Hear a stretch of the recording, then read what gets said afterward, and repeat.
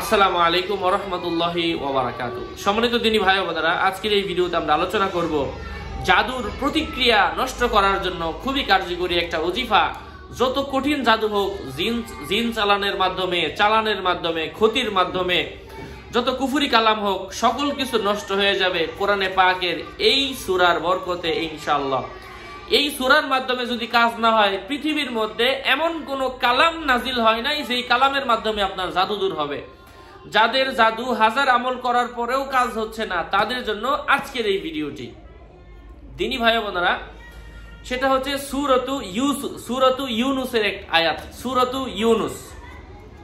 জাদুর প্রক্রিয়া নষ্ট করার জন্য এই আয়াতগুলো লিখে কেউ যদি নিজের সাথে রাখে, অথবা যাকে জাদু করা হয়েছে, কোনো মাটির চীনা মাটির পাত্রের মধ্যে লিখে এটা ধুয়ে জাদুগ্রস্ত ব্যক্তিকে খাওয়ানো যায়, ইনশাআল্লাহ আল্লাহ পাকের অশেষ রহমতে সে সুস্থতা লাভ করে। এমনকি আমি নিজে দিয়েছি, অনেক মানুষ আমার কাছে এসেছে, আমি দিয়েছি।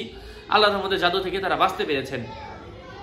এ ব্যাপারে অত্যন্ত পরীক্ষিত একটা আমল, জাদুর প্রতিক্রিয়া নষ্ট করার জন্য।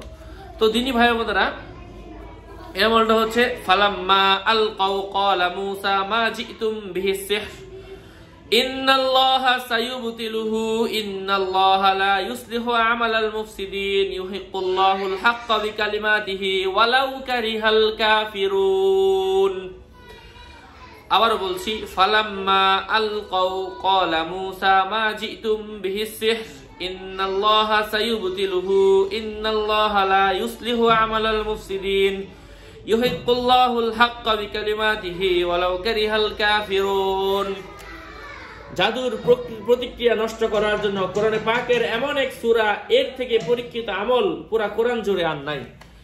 মুসা নবীনা সালাতু ওয়াসসালামের জামানার মধ্যে যখন অন্য অন্য জাতিরা মুসা সাথে যখন জাদু করত, তখন আল্লাহ পাক এই আয়াতটা নাজিল করেন। জাদুর প্রতিপ্রেক্ষিতে এটা আল্লাহর দেওয়া এই ওজিফা।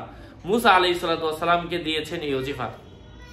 এই জন্য জাদু নষ্ট করার জন্য এই আমলটা অত্যন্ত কার্যকরী। আল্লাহ পাক আমাদের সবাইকে আমলের তৌফিক দান করেন। এমনই আরও আপডেট পেতে আমাদের সাথেই থাকবেন। আসসালামু আলাইকুম ওরহমতুল্লাহি ওবরাকাত